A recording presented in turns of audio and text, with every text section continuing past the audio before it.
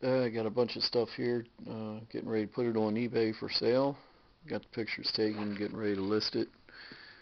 Uh, first up is a, I think it's a purse, old plastic purse. Bunch of uh, sterling silver marked flatware. World War One gas mask. Winchester flashlight.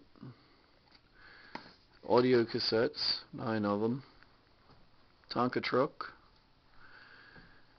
Chauffeur license badge, uh, Mason coin, a Austin Healey emblem, antique bicycle seat, a chicken fryer marked Kennyware, bunch of uh, miners lights marked Premier, an old army uh, compass case made of leather, old trumpet case, and a bunch of uh, old uh, bobbin head dolls. So I'm going to put these 15 things on.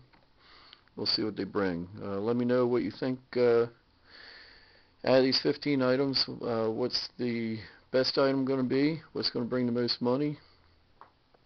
Let me know what you think the dog item's going to be. What what item is it going to sell?